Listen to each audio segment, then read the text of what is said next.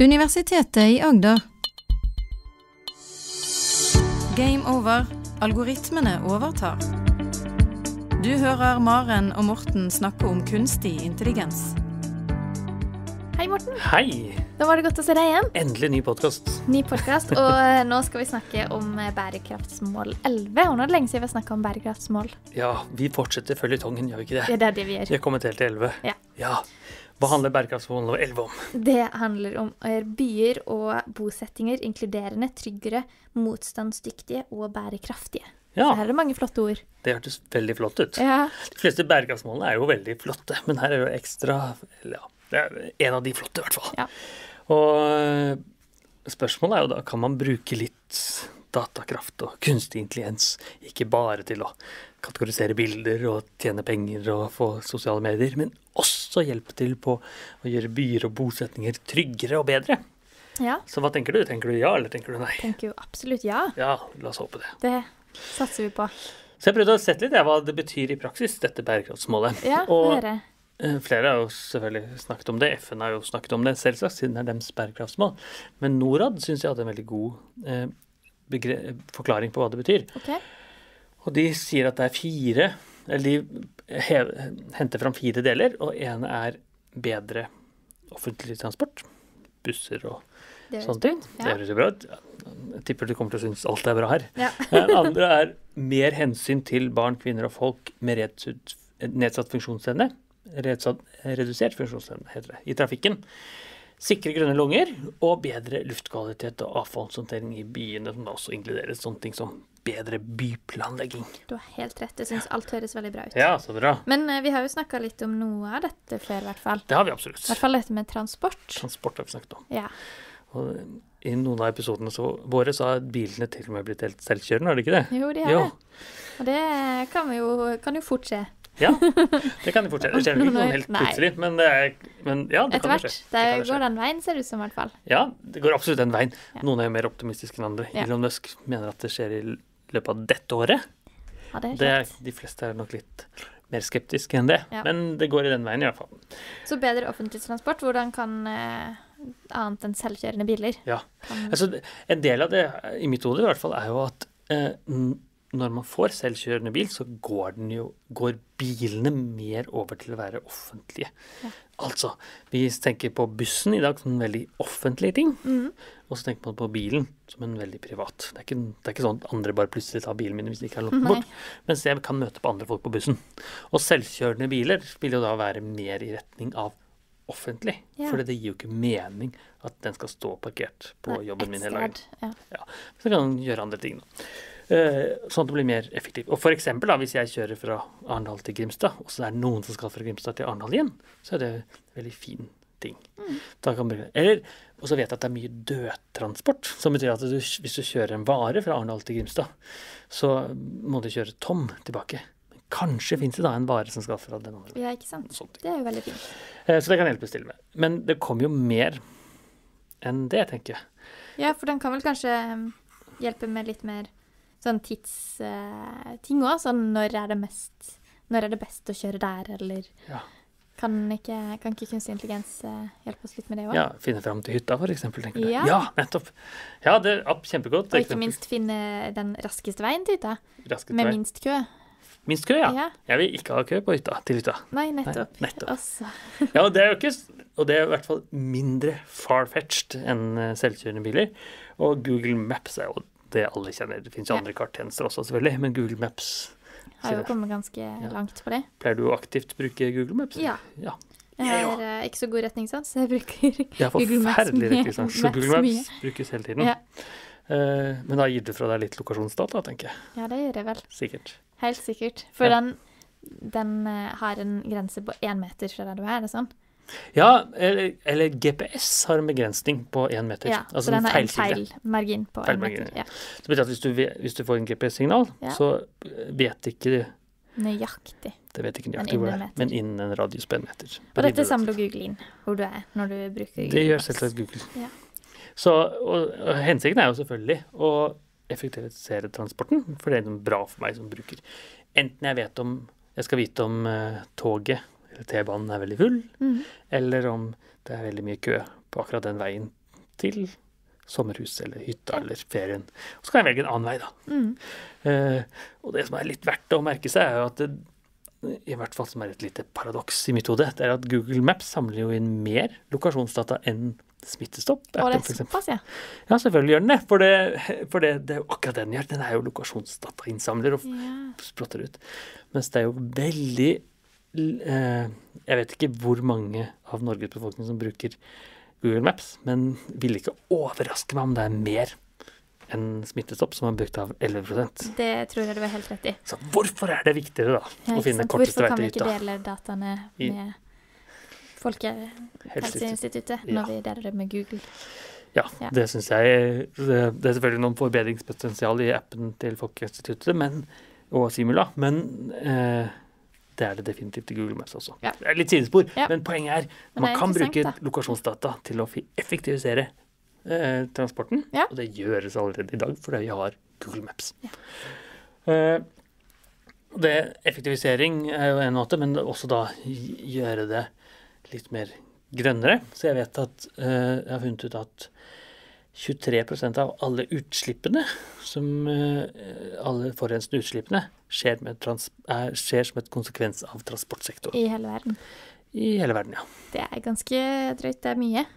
Det er veldig mye. Ja. Så hvis man kan redusere det vesentlig, Så gjør jo det en stor forskjell. det gjør en kjempestor forskjell. Og mye av den reduksjonen har jo skjedd mens det var koronatid, for da kjørte jo folk ikke så mye. Men kanskje man kan gjøre det litt permanent. Nå begynner mer har og flere Gå tilbake igjen. gå tilbake igjen, selvfølgelig. Og da eh, kan man gjøre det mer effektivt. Og én måte det lar seg gjøre på, da, det er å mer effektivt planlegge hvor bussene skal kjøre, og hvor de skal stoppe. Ja, Og for hvor vil flest på? Hvor Litt sånn. på? Ja. Er det lurere å stoppe på den gaten enn på den gaten, for da får vi med oss flest mulig, og så slipper man å stoppe så ofte, kanskje. Mm. Og jeg vet at New York City bruker eh, intelligente algoritmer til å planlegge busstopp. Kanskje er det lurere å kjøre i eh, Stoppe ved femte gate, og så tredje gate, og så første gate eh, på morgenen, fordi folk skal nedover mot Mm. finansområdet i New York. Eller kanskje de skal andre veien tilbake. Sånne ting. Ja. Men det er jo greit å ha en viss eh, forutsigbarhet òg, da. At ikke bare bussene kjører helt vilt på hva de tror er best. Ja, det ville vært veldig kjedelig. For For plutselig er det noen som ikke kommer på. Ja, Som ikke kjører helt uh, vanlig løp. da må de løpe etter. Ja. Det kan selvfølgelig være uh, Kanskje det er så sunt allikevel, men Ja. ikke med hensikt. Nei. Yes. Så det er jo det, mer bedre offentlig transport Mhm. er jo en av de. Absolutt enn noe kunstig intelligens kan hjelpe med. svaret er ja. Her kan kunstig intelligens hjelpe masse til. Så hva var nummer to igjen? Nummer to mer hensyn til barn, kvinner og folk med, red, ne, med redusert funksjon, funksjonsevne i trafikken. Ja. Og, så deler av det er jo det vi allerede har snakket om. Det er litt tryggere med disse selvkjørende bilene. Ja. Eh, og automatisk bremsing i bilen og sånne ting, selv om den ikke er fullt selvkjørende. Mhm. Men det er jo ikke det er jo ikke nødvendigvis rettet mot barn og kvinner. Og, uh, sånn, det er jo rettet mot alle. Ja. Så det er jo ikke sånn at den er mer selvkjørende bil bremser akkurat like mye, eller burde i hvert fall, når det er et barn eller kvinne eller Men en kanskje en som går hjem fra byen seint på natta, f.eks. Lørdagskvelden, for Ja. Her er det noen som har lyst til å rane deg eller gjøre andre ting. Mm. Og da kan jo overvåkningskamera Ja. oppdage det automatisk. Og det, eh, tek, den teknologien er der. Ja, den har vi. Den har vi allerede. Mm. Eh, eh, fra eh, Men så er det jo det å bruke det, da. Når det, det er jo personvern og mange hensyn å ta. Her er det personvernhensyn. Mm. Eh, og personvernshensynet er jo viktig på flere områder. Og så må det selvfølgelig veies opp med nytten du får Ja. ut av. Så hva er viktigst? At man oppdager kriminalitet, eller at man lagrer for mye data? Mm. det, egentlig litt vanskelig spørsmål å svare på. Men en del av det svaret er at eh, eh, det er forskjell hvem som faktisk skal ha de dataene. Ja. Så hvis det er politiet Mm. som skal ha informasjon om hvem som slåss på Karl Johan eller i Kristiansand eller hvor som helst, Mm. så er det i hvert fall i mitt hode veldig annerledes enn hvis det er noen vekter eller noe Ja. sånt som ikke har politiutdannelse. Uh, og jeg vet at det finnes mye teknologi som handler om å anonymisere Ja. for nettopp disse for, Så man kan ta opp en video av noen på gata, og så, de, og så kan ikke de som ser den, se hvem det er. Helt riktig. sånn? Ja. Ikke-intrusiv overvåkning. Og vi har hatt noen masteroppgaver hos oss som har gjort akkurat det. da. Ja. Så Poenget er du går en person over gata, og så skal du da se at det er en person over gata. Mm. For det er informasjon som betyr noe. Men så er det ikke så viktig å vite akkurat hvem det er. Så da kan vi bytte ut. Og da slettes det helt. Ja, nesten, da. Så det slettes, eller slettes ikke, men det byttes ut. Og Men er det Ja. mulig å finne tilbake, da, hvis det skulle skje et ran, da, eksempel? ja. Kan politiet spore tilbake igjen og ja. gjøre denne videoen om til noe som kan Antakeligvis antageligvis kan man spore tilbake. Ja. Det, det er litt sporing tilbake på forskjellige måter. Okay. Så eh, man klarer ikke å anonymisere helt, Mm. for det er så veldig mange ting da, som sier at det er meg.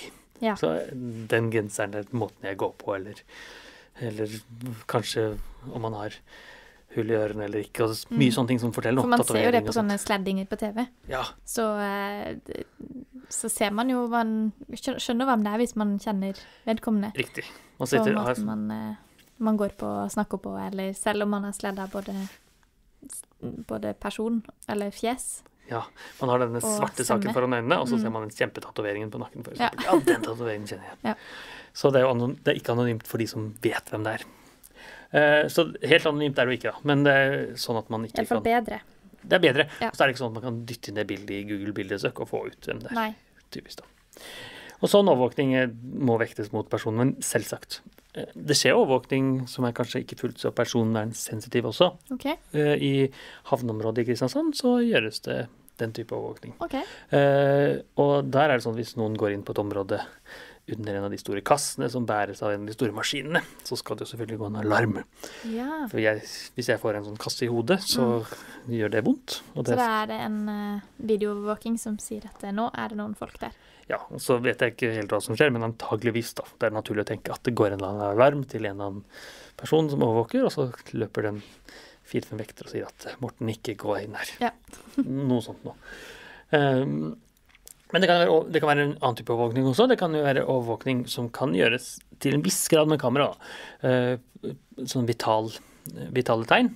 Hvordan har jeg f.eks. en hjertestans her Ja. i mørke gate? Det er fint at det går en alarm veldig fort Ja. hvis det skjer. Mm. Eh, eller eller Så den kan hjelpe hjelpe med sånne type ting òg. har jeg falt og slått meg, f.eks.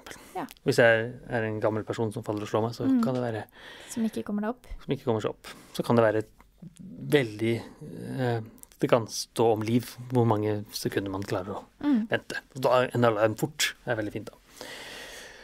Men det, i tillegg til det tenker jeg at det er jo øh, overvåkning mer på sånn øh, utsatte arbeidsgrupper. Enten det er folk som jobber på lager som bærer feil, f.eks. Eh, det har ikke så mye med byarbeid å gjøre, men hvis det er noen som gjør øh, arbeid på en vei eller på en søppeldynge eller sånne ting, Mm. så kan man jo på en måte erstatte den jobben med en robot som kan gjøre det samme. Mm. Eh, Så slipper de å bære tungt eller puste inn skummel luft. Ja. Eh, Eller man kan rett og slett bare overvåke, overvåke og fortelle at du bærer feil. Ja. Du, hvis du holder på med det i 30 år til, Så får du skeiv rygg. da får du skeiv rygg. Så Ja. fin Ja. informasjon å få, da. Absolutt. Eh, og så da er vi på den nummer tre. Og det er sikre grønne lunger. Sikre grønne lunger og bedre luftkvalitet og sånt. Ja. Henger jo tett sammen, da. vi parker og Parker, ja. Kan vi lage en park her, f.eks.? Ja. Det er flere ting å tenke på der. Og, det, eh, og den ene handler jo om å måle luftkvaliteten. Ja. Det kan gjøres med enkle algoritmer, Mm. men det kan gjøres med mer avansert algoritmer også. Og en av de som jeg syns er litt spennende, det er jo eh, at man kan se på bilder. Eh, bruke en visuell algoritme til å tolke et bilde og fortelle at her er det eh, mye forurensning. Ja. For man trenger ikke spesielle sensorer. Man kan ha bare et vanlig videokamera, og så kan man veldig nøyaktig fortelle at dette er stor forurensning eller lav forurensning basert på det. Kjempeinteressant. ja, det det lov lover godt. men man, for da trenger man ikke å kjøpe denne s- store, komplekse sensorparken. Nei, ikke sant. Man kan bare ha et bilde. bilde. Det er ikke like bra, men det hjelper ganske mye. Ja. Godt nok, kanskje. Kanskje planlegger du en by med litt, og så har du litt lite penger. Ja. Men, ah, la oss bare kjøpe et kamera isteden. Eh, og så kan man jo har jeg sett en studie uh, som handler om prediksjon av, uh, av luftkvalitet. OK. At man kan forutsi Forutsi hvordan, sånn, hvordan luftkvaliteten blir om noen dager. Ja, Ja. naturlig tenke. jeg, Men det er nok enda litt mer at man forutsier hvis vi gjør den endringen. Ja. Så hvis det er sånn at vi klarer å redusere CO2-utslippet i det området, hva Mm. betyr det for luftkvaliteten i dette området? Så hvis vi lar bilene kjøre en annen vei, f.eks., Ja, hvilke konsekvenser har det? Positivt og negativt. positivt og negativt, ja. Ja. Hva betyr det da at man endrer denne gågaten Mm. til en kjøregate, eller Ja. eventuelt omvendt? Og jeg vet at dette er gjort et stort studie i Madrid okay. knyttet til dette. Så har du vært i Madrid noen gang? Nei. Nei. Der har jeg ikke vært. Har du? Ja, der har jeg vært. Har vært. Veldig eh, flott by. Overraskende overrasket over byen, egentlig. Ja. For jeg hadde ikke hørt så mye om den da vi reiste dit. Og én ting som overrasket meg, det var at de endret på, eh, på kjøreretningen på en del av veiene. Åh, Så det betyr altså eh, det som er innfartsårer mm. Om Som morgenen. gjerne var en litt stor vei fordi det er masse biler på morgenen. Veldig Ja. mange biler som skal inn til Madrid sentrum og mm. jobbe på finansdistriktet og sånne ting. En, ble endret til utfartsårer på slutten Ja, av på dagen. ettermiddagen. Ja, så la oss si klokka tolv, jeg vet ikke når da. Så Men, vi slapp å ha to svære veier begge, vei, begge veiene. ja, ja. Vi bytta bare om på funksjonen. Det er litt sånn når, hvis du kjører til en storby, Ja. Oslo eksempel, så ser du her er masse kø. Og så på den veien ved siden av, da, som riktignok går andre veien, der er det masse ledig plass. ja. Og da har de myndighetene i Madrid tenkt ja, ja, la oss bruke det, da. Ja. Så går det selvfølgelig an å kjøre inn eh, eh, på kvelden og ut på morgenen, motsatt vei av de andre gjør, men det er altså mindre plass til det. Vi får håpe det er godt skilta, da. Det får vi håpe. Skilta på spansk, skulle jeg tro. Men ja, Ja. det, det, er- nok sikkert det. Ja, det er det helt sikkert. Eh, Så det er jo typisk ting man kunne brukt kunstig intelligens til. Hvordan skal man eh, endre på trafikkmønsteret? Mm. jo, eh, jeg ville jo vært veldig skeptisk til hvis det blir endret sånn hele tiden. Umiddelbart, Ja, ja. nå får du ikke lov å kjøre lenger her. ja. For jeg Det ville jo vært litt rart. Ja. Men det handler litt om da byplanlegging. Ja. Så har du Det jeg kjenner mest til byplanlegging, er spillet SimCity. Ja. Har du spilt det? Nei, ikke spilt det, men uh, jeg vet hva det er. det er. Ja. Jeg spilte et annet som ligner litt, hvor du skal bygge park. Som er sim... Ja, jeg vet ikke hva det heter for noe. Ja, Ja, ja, riktig. Ja, så du er ikke byplanlegger, men dyreparkplanlegger? kunne eller liksom- eh, fornøyelsesparkplanlegger. Ja, men du har spilt SimCity. Har spilt SimCity. Ja, det er Ja. byplanlegging, da. Ja. Jeg, har spilt det lite grann. Men det, det handler jo om akkurat det. Du setter opp en eh, boligområde, Mm. og så setter du opp en eh, industriområde. Så skal du helst ikke ha de ved siden av hverandre, for da blir de som bor i boligen litt sinte. Oh, ja, For det kommer en, eller her er det eh, kloakkutslipp. Så det simulerer du egentlig åssen Simulerer du byplanlegging, da. Eh, jeg vet ikke helt hvor reelt det egentlig er, men det ligner i hvert fall. Ja. Litt morsomt. Eh, Og der, og der er det også mye kunstig Ikke i SimCity, men i, i, i reell byplanlegging så fins det masse metoder som bruker kunstig intelligens, som forteller mye om hva betyr det hvis du bygger et hus på det høyden her. Ja. For luftforurensningen, f.eks., i området. Eller for, ly, eh, for lyssettingen der borte. Mm. Hva betyr det hvis du har dyrelivet. Dyrelivet, helt sikkert dyreliv også. Og jeg vet at det er, eh, det er jo nært knyttet til sånn arkitektur, arkitektarbeid. Der finnes det noen firmaer som bruker kunstig intelligens til å fortelle dette huset ser sånn ut, Mm. men eh, hvis du reduserer takhøyden litt, grann, så får du mye mer lys i det området. Ja, Kanskje du vil ha det. Mm. Og det. Og det betyr jo så mye, selvfølgelig. For det er veldig vanskelig å få oversikt over alt dette, selv om byplanleggerne er veldig flinke. Så alle Mm. verktøy man kan få, hjelper veldig. Absolutt. Eller hvor, hvor bør skolen egentlig være? For her forventer vi å ha masse folk. Kanskje den bør være litt i midten, da. Men andre ting også. Ja. Så man kan jo planlegge mye med kunstig intelligens. Sånn. Så hvis det er noen byplanleggere der ute, så kan de fortelle oss om de har brukt noen av de kunstig Det vil vi gjerne høre. Ja. Eh, send mail til gameover.krøllalfa.øa.no, eller kontakt oss på Facebook. ja. Og de kan gjerne trykke 'liker'. Ja, Den der lik gjerne tommelen opp. Ja. Sant? Så gir du litt data til Facebook, men så blir vi litt glade. ja. Vinn-vinn. Så møtes vi igjen om eh, noen uker. Det gjør vi. Får du fortsatt ha god sommer. Takk i like måte. Du hører Maren og Morten snakke om kunstig intelligens. Har du spørsmål til Maren og Morten, send en e-post til gameover.alfakrølluia.no. Du har nå hørt en podkast fra Universitetet i Agder. Du finner flere podkaster fra UiA på uia.no podkast.